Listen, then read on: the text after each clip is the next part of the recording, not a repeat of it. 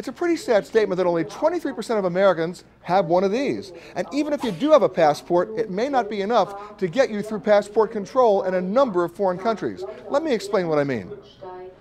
It starts with something as simple as the passport stamp and countries that may be in a technical state of war.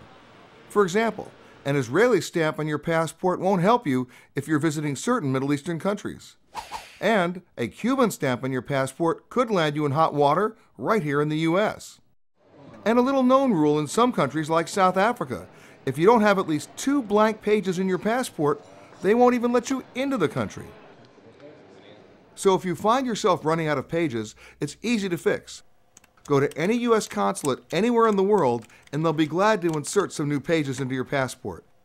So if you follow my advice on all these tips, you'll have a much easier time not only getting in the country, but out of the country.